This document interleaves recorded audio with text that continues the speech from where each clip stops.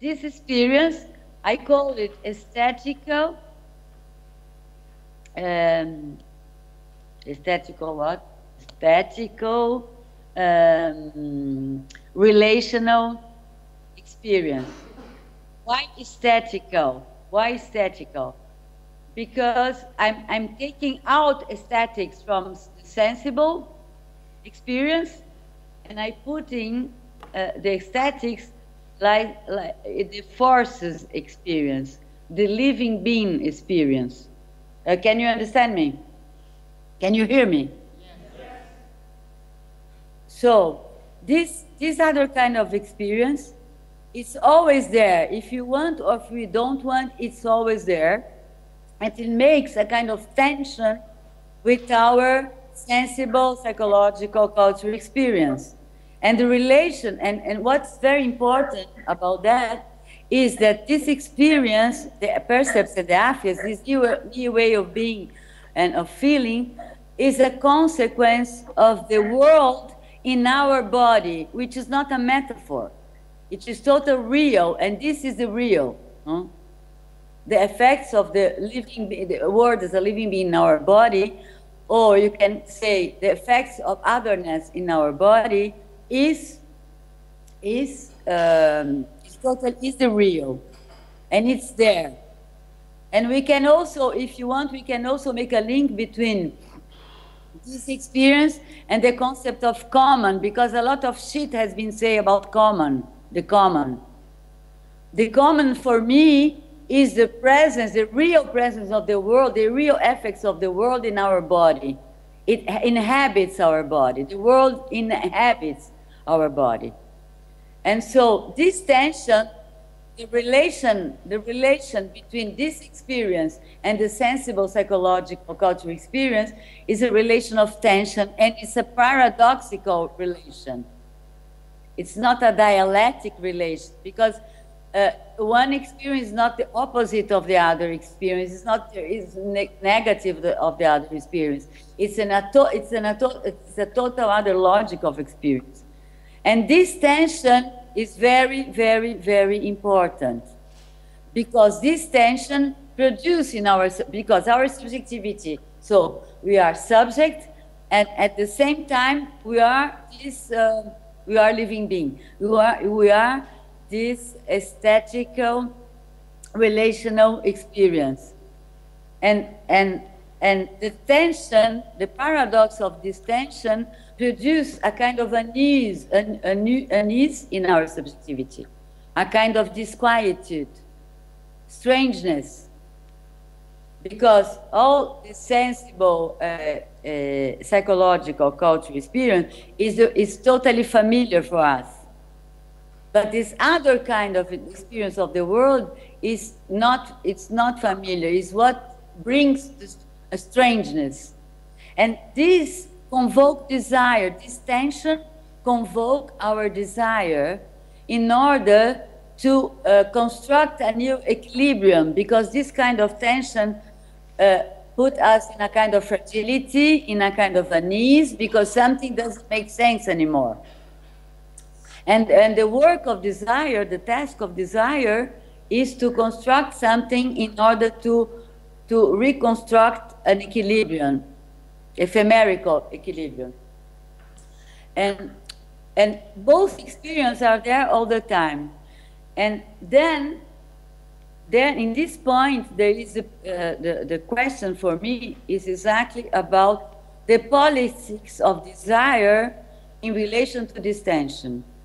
Because this tension produces a kind of question mark, and we become a kind of question mark. We become this problem and we must find something in order to reaccommodate the sense. So, and then if desire try to construct something in order to performative, to performative uh, this question mark, this new way of seeing and, and, and, and feeling, it will, it will create something, a work of art or, or a mode of existence or a text, a poetic text or a theoretical text, uh, uh, any, all kind of things, it, it will invent something in order to perform, to make sensible this new way of seeing and feeling. And when it make it sensible in something, it belong it, it belongs to the to the cultural uh, it, it, it begin to belong to the actual cartography, cultural cartography, and it produce a difference. It, it, it produce a displacement in the actual in the current uh, cultural cartography. It produce it, it produced change. But this is one kind of politics of desire and of politics of thought, of thinking, when thinking is creating. It's not explaining, it's creating. So, but there are other politics of desire in this, uh, in towards this tension, uh, in towards this experience of fragility, which is a very important experience, this fragility. If if our capacity to deal with the world as living beings is under repression, under is suppressed, is blocked, is suffocated. Uh, if you don't, if, if, if it is not activated, when we are in this fragility and we must and desire must in, do something in order to reaccommodate and to make sense and to to, to to bring a, a new equilibrium, he only has he, only has our cultural references in order to build, to construct something. So his movement, his action, it will be an action of repetition. It will only reaccommodate what we have already, the subject have already, in order to, uh, to produce this new equilibrium. And all this experience of otherness, of the world, uh, which is uh, inhabiting our body, is totally sterile. It doesn't, it doesn't allow to invent anything. And for me, what is very important in why, why it's totally political, the question of subjectivity, is because modern uh, Western culture is, uh, from a micro-political point of view, is uh, subjectivity is totally reduced to the subject. And all our uh, uh, capacity of uh, we, ways, how you say it, uh, uh, Lisette? Body wise. Body wise. Wise, like wisdom. Yes. But Our wise, our body wise is totally uh, desactivated. And this makes a real problem because, first of all, the world that exists in, other, uh, in, in our body doesn't produce anything. But this is not the whole thing. It's totally sterile, no? This, the, what is worse in this, in this kind of micropolitical, micropolitics is that we are totally submit, submitted, submission, submitted to, to uh, to the cultural uh, references, the actual cultural references. So we are totally submitted to ideologies. You are, we are totally submitted to anyway. Can, we are totally uh, we are totally consumers because we must consume something that is always there in order to re recreate an equilibrium. So we will we will, uh, for instance, if I am a woman and I am in this fragile state, and I don't have my body wise uh, in order to situate what's going on. Oh, my, my cell phone, one second.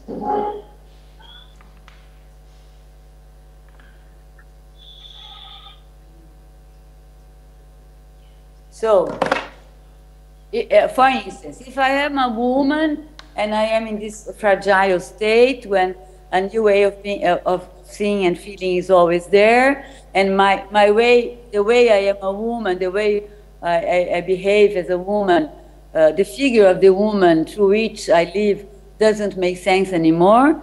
This fragility, I will always, if I don't have my body wise, I will always tend to interpret it as, a, as something negative, as an inferiority, incapacity to be desired, or something that I'm not so beautiful, I'm not so desirable, I don't know what. And I will consume a lot of cosmetics, I will consume a lot of uh, dresses and things that, uh, that, I, that I imagine that are the, the good things, the, the prestigious uh, way of dressing, etc. And I consume all that in order to recreate my, my image. Or, this is one example, or if I am an intellectual and I am this, in this, uh, in this uh, strangeness, in this uh, uh, uh, um, uncanny, no? Because I am at the same time at the familiar and in the strangeness, this is the, the, the concept of uncanny. Uh, em português, estranho familiar, étrange, fam étrange familier, in français. If I am in this state but I don't, and, and I am an intellectual, and I, I feel that needs, and I don't have my body wise, which is the 99, 99% the case of Western intellectuals, academics, intellectuals. Uh, what I will do, I would, I would, I will uh, choose an, uh, an author, if I'm very chic, I will choose uh, Deleuze, in order to recompose a sense, but, but um, in, Deleuze's uh, uh, discourse as a rhetoric, not as something that can uh, help me to elaborate what's going on and to create something. So, and also because this, this, uh, the, this uh, suppression of body wise, uh, there is another problem, is that also all the psychiatry feeds itself with that.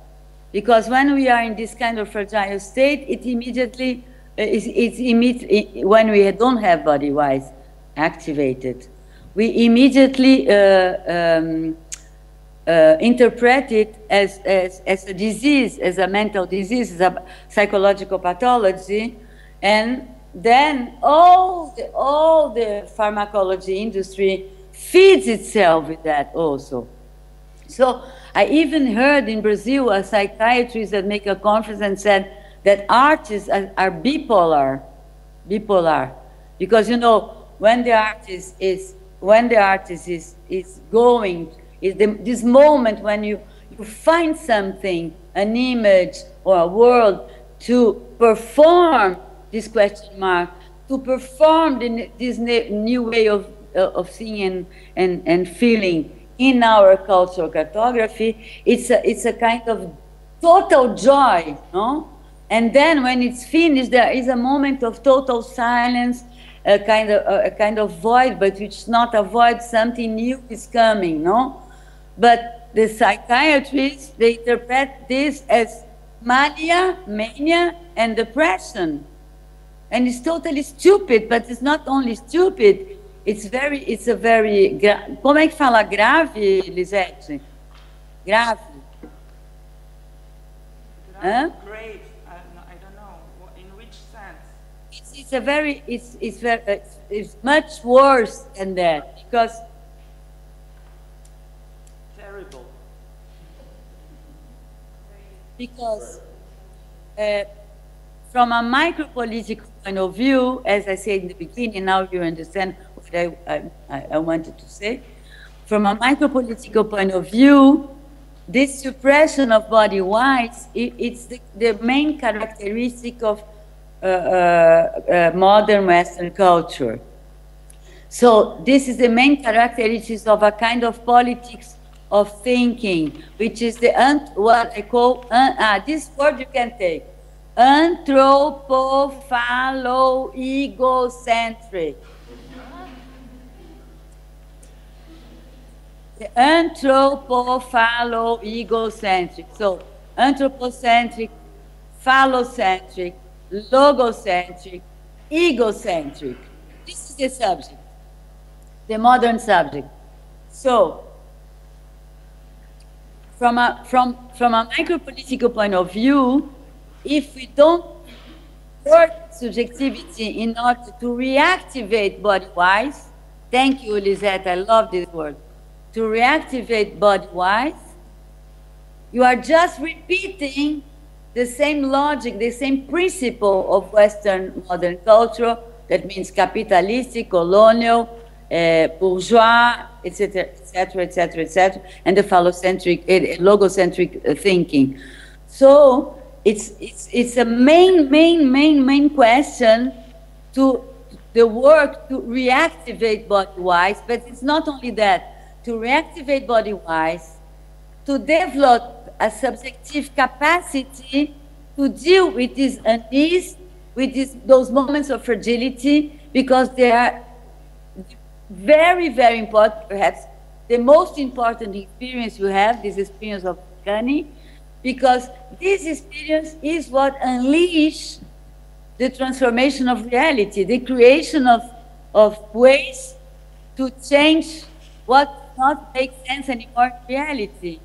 And if we only deal from a political point of view, if we only deal with macro politics, we only we only you we only resist against uh, uh, against social injustice or economic injustice, etc., etc., etc.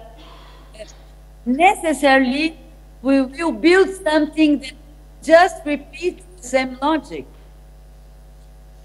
That's it. Now I want to. Yes. No, I conclude. For me, subjectivity is a major, major issue, and uh, because if we don't develop this body-wise today and the capacity to inhabit this unease and this fragility instead of interpreting it as something inferior or negative, we will always re, rebuild the same bullshit. And I think that the, the, the, fantastic revolutions that we have in 20th century, they all, all, only deal with civil rights and, and social injustice, it was fantastic, but the legacy they, they, they, they, they led to us, which is very important, is to discover that now we must develop a micro-political intelligence in order to resist from that point of view. That's all. Okay, so receive, there are questions. So, Please.